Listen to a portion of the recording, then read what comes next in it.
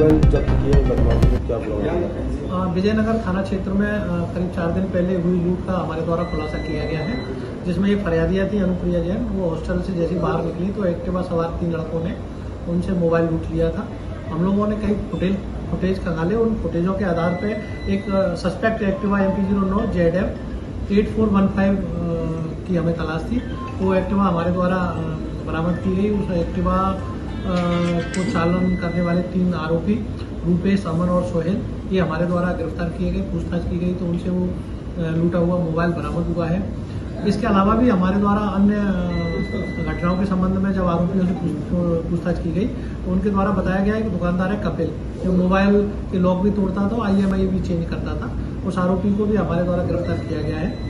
इसमें कुल एक मोबाइल जो घटना में, जो लूटा था वो, और इसके अलावा सोलह अन्य मोबाइल कुल सत्रह मोबाइल हमारे द्वारा बरामद किए गए हैं। और इनसे अन्य कई घटनाओं का खुलासा भी होने की संभावना है। हम लोग लगातार पूछताछ कर रहे हैं आरोपियों को गिरफ़्तार करके अ, हमारे द्वारा पीआर लिया गया है। ये मोबाइल लूट की गैंग जो विजयनगर थाना क्षेत्र में सक्रिय थी और अन्य भी थाना क्षेत्रों में इनके द्वारा जो घटना स्वीकार की गई है उनको पकड़ने में हमारे द्वारा सफलता हासिल की गई है।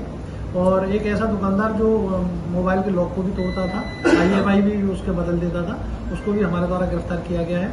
इस पूरी टीम